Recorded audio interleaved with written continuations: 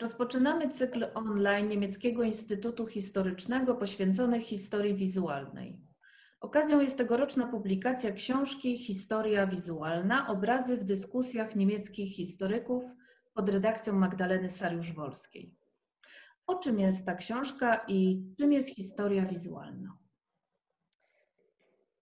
Nie ma właściwie jednej definicji historii wizualnej, więc nie da się jednym zdaniem odpowiedzieć na pytanie, czym jest historia wizualna. W książce jest 10 tekstów e, niemieckich, a właściwie niemieckojęzycznych autorów, bo są wśród nich także autorzy z Austrii i Szwajcarii, którzy z różnych stron podchodzą do historii wizualnej.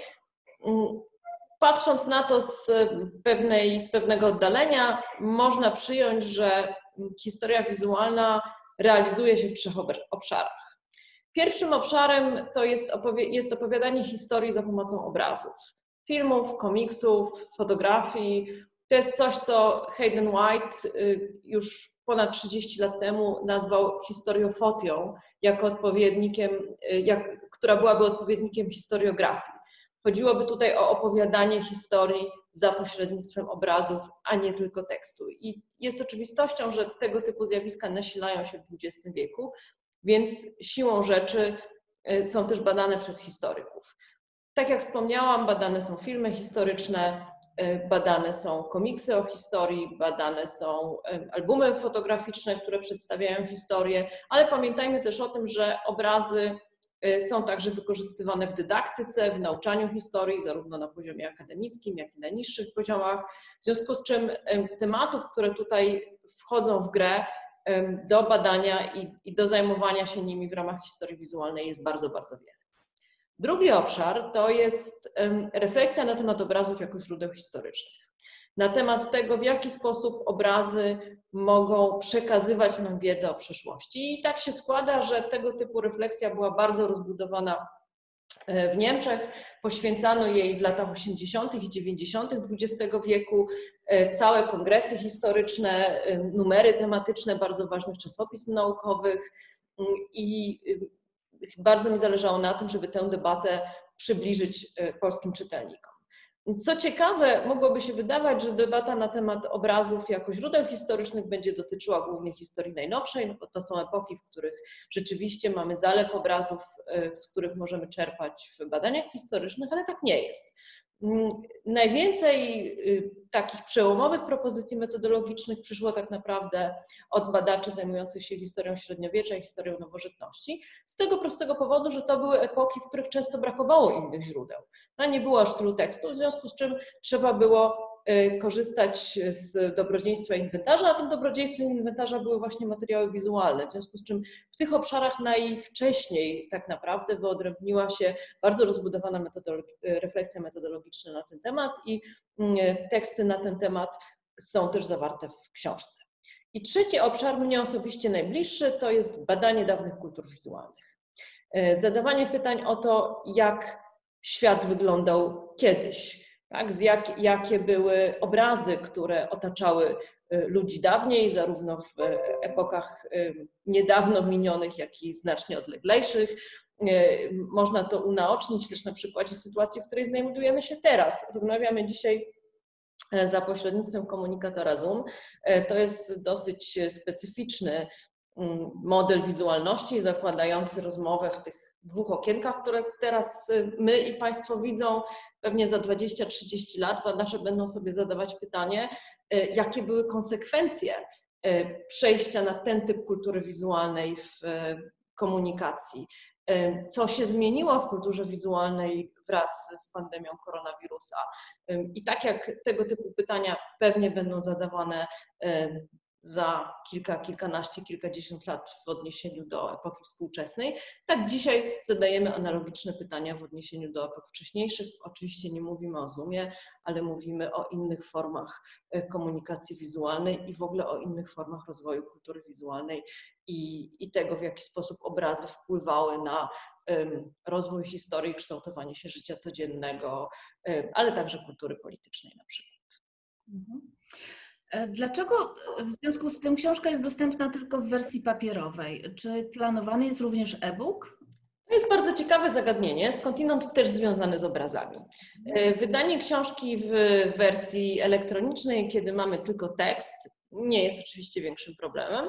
Natomiast w momencie, kiedy mamy obrazy, bardzo mi zależało na tym, żeby e, do tej książki włączyć ilustracje.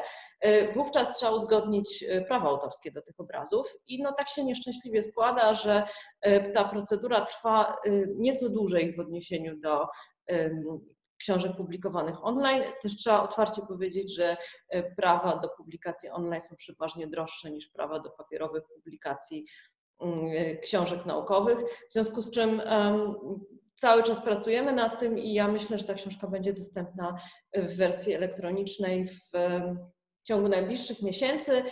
Ale to też jest ciekawy, jakby ta informacja od kuchni jest też takim ciekawym przyczynkiem do tego, dlaczego historia wizualna y, trudno się przebija na rynku akademickim.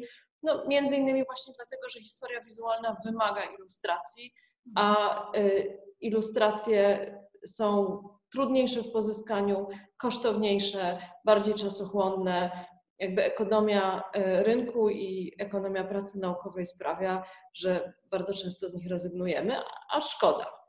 Mhm. E, książka ukazała się jako 25 tom e, serii Clio w Niemczech, Niemieckiego Instytutu Historycznego. Dlaczego akurat ukazała się w tej serii?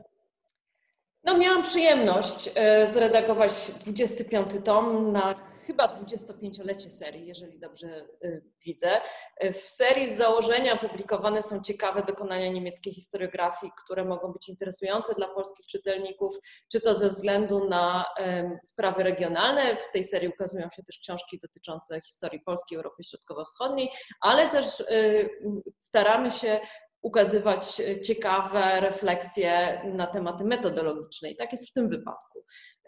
Refleksja o historii wizualnej, tak jak już wspomniałam, jest w Niemczech bardzo rozbudowana. To jest poniekąd związane też z tradycją humanistyki niemieckiej, z tym, że w ramach humanistyki niemieckiej rozwijał się od lat 20. XX wieku nurt zwany Bildwissenschaft, czyli obrazoznawstwo.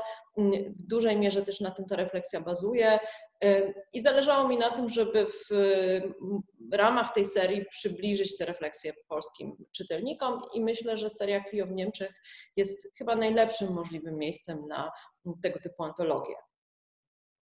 Nasza rozmowa inauguruje cykl poświęcony historii wizualnej i kim będą następni goście?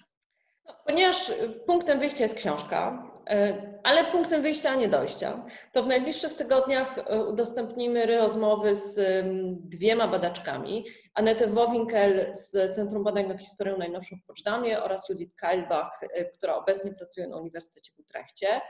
Anetę Wowinkel opowie o tym, kim są tak zwani agenci obrazów, natomiast Judith Keilbach podzieli się wynikami swoich badań na temat związków między historią a telewizją. Natomiast w dalszej kolejności chcielibyśmy poszerzyć zakres czy zasięg naszych rozmów zaprosić do rozmów zarówno polskich badaczy, którzy zajmują się historią wizualną, jak i badaczy z innych krajów europejskich. E, no i last but not least, że się tak wyrażę, chcielibyśmy zaprezentować też e, badania nad historią wizualną, które były prowadzone tutaj w Niemieckim Instytucie Historycznym w Warszawie, dlatego że w ciągu minionych kilku lat e, udało nam się kilka takich projektów przeprowadzić i uważam, że warto je przypomnieć. Dziękuję Ci serdecznie za rozmowę i zapraszamy serdecznie na stronę Niemieckiego Instytutu Historycznego w Warszawie. Ja również dziękuję za rozmowę.